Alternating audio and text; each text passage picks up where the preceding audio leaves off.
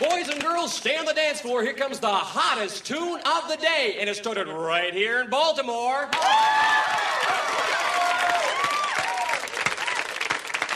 And where did you see it first, kids?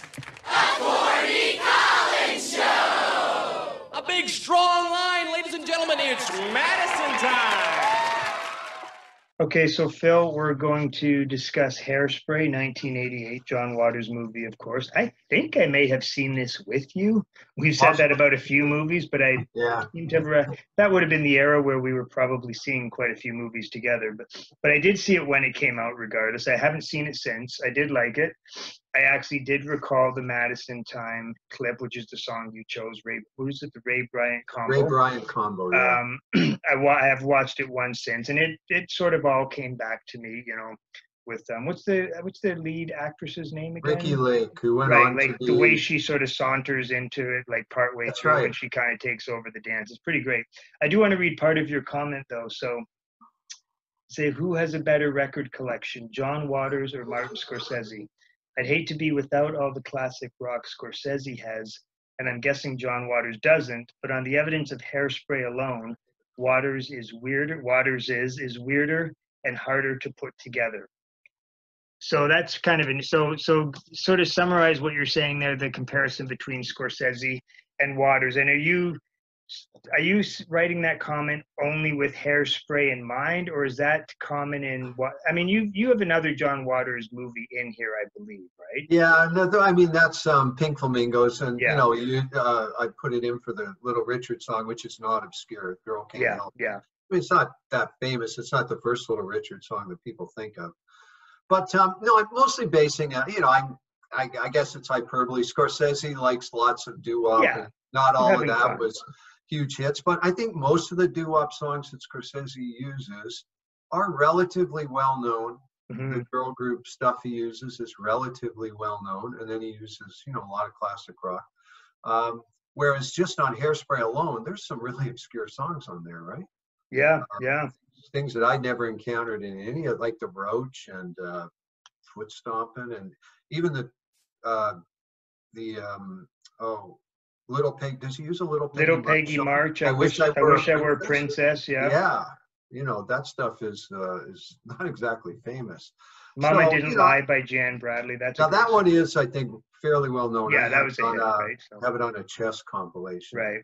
Um, so you know, I just get the feeling that John Waters probably loved all this weird, like, sort of the same stuff as Lux Interior and, and Ivy from the Yeah. Like, loved all this weird, left field, bizarre stuff from the early mid '60s. Um, whereas Marcus is just probably a little more conventional. Yeah, yeah. Mark Scorsese. I think you said Marcus, but yeah. Marcus, yeah, but Marcus, no, it, but Marcus it's Scorsese. but no, it's interesting though that you said that and by accident because there's kind of like I sort of think of there's a whole sort of uh, group of people like sort of between critics and filmmakers who definitely have this attachment to the music of that era and it kind of might go a little one way or the other to the more obscure but I like you know there's obviously Marcus Scorsese John Waters but I would add to that like someone like Frank Zappa like he just Yeah. you know he was a fanat a doo-wop fanatic um God, I just I just read a else had book. in mind too I you know, a- you know, a little different because he's not American, so I think his experience was completely different. But Yeah. he grew up a fan, an absolute fanatic of doo wop, and it, you know, you can sort of hear it filtered through a lot of his early music and stuff. Well, it's funny you should mention Zappa because I just finished that Glenn Kenny book, and he brings up Zappa and Lou Reed. And Lou Reed. Uh, here's the bizarre thing: Lou, uh, like Zappa and Lou Reed, they kind of badmouthed each other a They're- lot in the late '60s. Lou Reed inducted Frank Zappa into the Rock and Yeah. Roll Hall of Fame. No, I've I've watched that. I've Yeah. watched that. No, though Glenn- Lou, I've been saying for years, Lou Reed and Frank Zappa, in many ways, are just different sides of the mirror. Like they're yeah. Glenn Kenny points out doo-wop, and and you know he does it in the framework of Scorsese. He says doo-wop is what linked those two guys. Their Yeah. love of, of and and and that they probably got a little snobbish about what kind of doo-wop they loved. Lou Reed would have loved all the New York doo-wop, and, and Mhm. um, Zappa would have loved all the West Coast LA doo-wop. So yeah, yeah. pretty interesting. Um, can I just before we talk, I'll just briefly read. Uh, Marcus wrote about Hairspray. Uh, and he mentions a, a different scene that's great. The real forgotten Toussaint McCall stands on a ghetto dance hall stage and sings one of the best songs uh, on the soundtrack, Nothing Takes the Place of You. It was a hit in 67. This is 62, but who cares? Four kids leave the room. As they huddle in doorways on the street, making out, a bum walks by, picks up the song, and drowns out the artist. In this moment, the song belongs to the derelict as if he wrote it. There hasn't been as true a rock and roll event on screen since the garbage can pounding of the would-be Little Richard at the end of Floyd Mutrux' American Hot Wax. Wow. So he It's a really great moment. raves. Yeah, He really raves about that, eh? Wow. Yeah. Yeah, and that's a great song, and that's uh, after the one I chose. I'd say that's the second best song in the film. And have you watched Hairspray in recent? I mean, I, I guess just la- you must have rewatched uh, it for the week. book or something, right? Okay, Yeah, okay. Just last week, no, I didn't rewatch it for the book because the clip is online. So I Okay. just uh, I thought I could write about it without watching the film. But no, I watched it um, just a week ago, and uh, it was pretty interesting. Um, it made me think of something I'll talk about in a second. Ah, sorry, scratching my back. Um, so you haven't seen it in a while, right, Scott? No, not since it came out. Yeah, so the two things that struck me watching it this time, I mean, one of them clearly, it's it's it's very much more so than Girlhood. It's about race. I mean, that's Yeah, really the yeah, prime subject of the film. yeah. And the other thing is, it's about Chubby Checker. Chubby Checker's not on the soundtrack, but he has four or five songs in the film. Wow. Um, it's almost like if you were one of those people. Many people think Chubby Checker should be in the Rock and Roll Hall of Fame. If you wanted to uh, find some evidence, this might be Exhibit A that you use because he is obviously central to these kids' lives. Um, Waters grew up in Baltimore, and it uses all the great songs. It uses the twist, maybe uses Let's Twist Again. It uses Pony Time, which I love. It uses The Fly, and it uses Limbo Rock. They Wow. I know. I bet you they couldn't license them because you would think he would have at least one song in the soundtrack. Yeah, yeah. My, my guess is Chubby Checker's probably pretty protective because you know those songs get used a lot, and he probably asked for a lot of money. Yeah, Um, so it's about those two things. Um, I, I thought it held up pretty well. You know, it's about Ricki Lake, and she's um, she's not part of the what's the show called? It's the American Bandstand Stand. right. Uh, she's not part of that show, but like you say, when the Madison time is played, she kind of just sneaks. She, they're watching off stage, and she sneaks on stage, and she's great. Yeah, And she stands beside the teenage heartthrob of the of the uh, of the show's crew, and he takes the um, an immediate liking to her because she's such a great dancer. Uh, so it's about her kind of getting into that crowd and becoming a quasi local celebrity, but at the same time, it's about how um, the African American kids they're not led on the show, and all the horrible things that the parents say, and Ricki Lake and and um, the boy that uh, she she's with now, they kind of befriend this group of um, of uh, black dancers, and they hang out with them and and all of that. And even the show's host, Corny Collins, he's sympathetic to to the black kids, and Mink Stole, his assistant, is. So that's really the primary subject of the film. Um, a lot of great dancing. Have never had any desire to see the John Travolta sequel. It just looked yeah. No, it looked terrible. you know. Um, and the Madison time is just amazing. That's the highlight of the film. Um, it, it, I think it'd be a great song just to hear it. It's so weird. Uh, Ray Bryant was a jazz guy. Um, he just crossed over, and I don't. I, I think it was a, a reasonably big hit. You know, it wasn't top ten or anything, but I think it probably cracked the top forty. And uh, the choreography during that scene is incredible because they, add, you know, the the dance, the song gives you all these bizarre steps. The the Wilt Chamberlain, the Jackie Yeah. Gleason, and they've got all these moves. And, and I guess it was a real dance. Um, I don't think John John Waters came up with the choreography. It probably was a, a very meticulously laid out dance. So when it's Will, when the Will Chambers Chamberlain lyric comes up, they do three steps and they do a hook shot. Yeah, Jackie Gleason, they do Jackie Gleason's Away We Go. It's like a shuffle step that they do. yeah. And believe it or not, I used to teach across the hall from uh, my first year from this um, teacher, Barb Barbarota, who was a cheerleader and she was a good dancer. And I said, I got it in my idea, I got in my head the idea that I was going to get my class to learn the Madison time, and we do it at an assembly, but she tried to teach me. I couldn't even pick up on the most basic stuff, you know.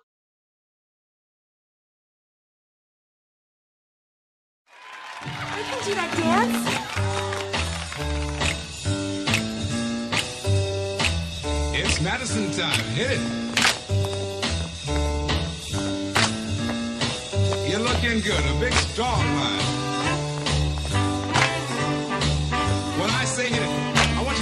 Up and two back with a big strong turn and back to the Madison. Hit time. No, you dance better than all of them. Go ahead. Go. You're looking good. Now when I say hit it, I want you to go two up and two back, double cross, come out of it with the rifle man.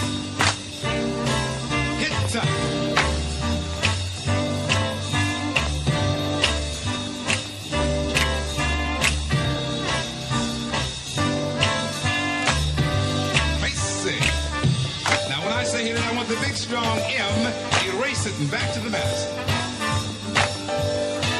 Get it.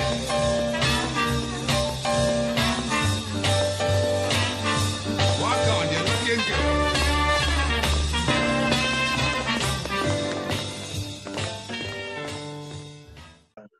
Well, it's uh, God. It's just the the lyrics are just incredible. Um, and uh, you know there are other really good dance scenes in it. Um, all the so many of the dances just seem to be uh, minor variations on the not even so much the twist, but the mashed potatoes. Right. They've even got they've got the mashed potatoes in it, but then they've got the follow up. Um, the gravy, put some gravy on it or something. Mm, I think it might be by the same. Who did Master uh, Dee Dee Sharp? It might be by Right. Dee Dee Sharp or the inevitable follow up that the record company got her to rush out.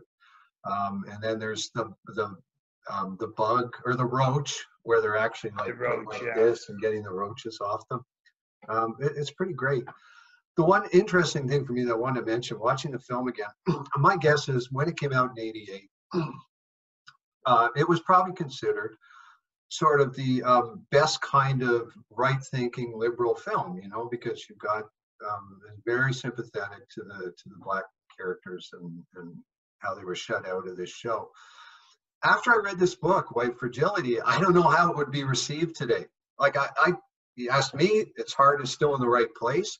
But if you were to read this book, I think that the author would consider it one of these really patronizing films where mm, you know the white characters are the savior of the black characters Yeah. and, and only the only only through the nobility and and um, and, and good intentions of Ricki Lake and, and the uh, sort of the, the teenage heartthrob guy she takes up with only through their good intentions um, are the black characters saved uh, she really she goes on about that Sandra Bullock film The Blind Side right, I've seen Um, that. Yeah.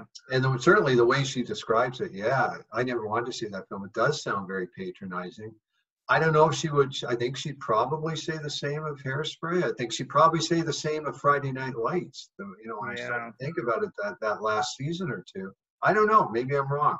You know, um, like I when I saw Hairspray then, and I said, "Wow, that's great." And I just times change, you know, and people look at things differently. Yeah. Well, I mean, it's always tricky going back. I mean, that's just Yeah. And I'm not maybe making just how that stuff was viewed back then. Yeah. and I don't know. Like now, I- nowadays, I don't think someone would necessarily have that same Right. um, way to present it. I mean, if they would, they'd maybe get you know called out for that. I don't know. Which Yeah. I don't really want to comment on one way or the other because you have to look at each one, you know, separate individually for what it is. But and I don't know the book you I, you've you've mentioned the book you're referring to, and I actually didn't really know mu- anything about it until you had mentioned it. But I think I get the Seems a bit- general gist of what what you're saying. So Yeah, it seemed to be a big topic of conversation. I got interested, ordered the book, and uh, and read it. And I started off, you know, she early on she didn't seem like a great writer. I mean, what she had to say was interesting, but the writing was a little clunky. Um, the writing got better, and uh, the book did make me think. You know, I'm not saying I subscribe to everything it says, but um, certainly proof of it is that when I saw Hairspray, I thought about it in a way that I hadn't. Don't get me I wrong, I'm mean- not, make, not making the accusation myself. I God, I, I, I- I imagine John Waters sitting here listening to me going, what is wrong with you? You know, you didn't live through that. What are you talking about? Does she say anything in the book about Elvis or? You know, I, I don't know. No, she didn't. Uh, no, she doesn't deal with cultural specifics. Okay, She okay. talks about no. It's it's dealt much more generally. She sort of, I think, leaves it.